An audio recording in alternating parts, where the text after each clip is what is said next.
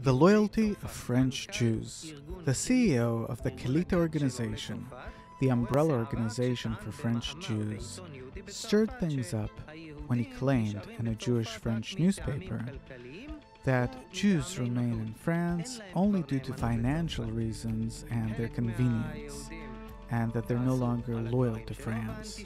Some of the Jews were angry with what he said, and anti Semites had a feast. So, in your opinion, today, a French Jew, where's his heart? On the inside, they're inclined toward French culture, and it has nothing to do with France itself. What then? They like being in this bubble called French culture. True. On the other hand, toward France itself, toward the French people there, he doesn't really relate to them and even keeps his distance, kind of. Why? Because he feels strong anti Semitism. Yeah, it's on the rise there.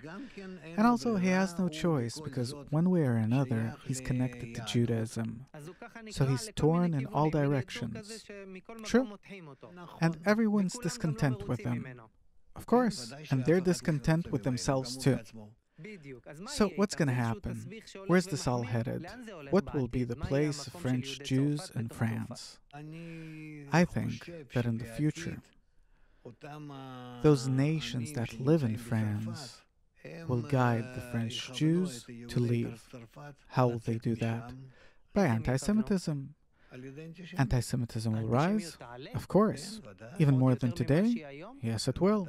But it's already skyrocketing, and it will skyrocket even more. But France, a cultured country, human rights, not in regard to Jews. Why? Because it's a very religious country, and it doesn't feel the Jews are a part of it. Do you think that France will admit its Jews? Of course, undoubtedly. We thought that we're past that. It's the 21st century. It's convenient for you to think so. You don't think it'll change? Of course not. Why? Because that's nature. How do you think it'll change?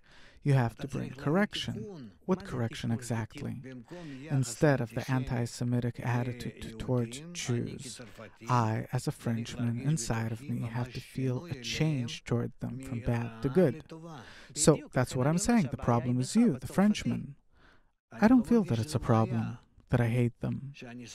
I feel that the problem is that they're around me so you have to change. This is my country, this is my land, it's all mine.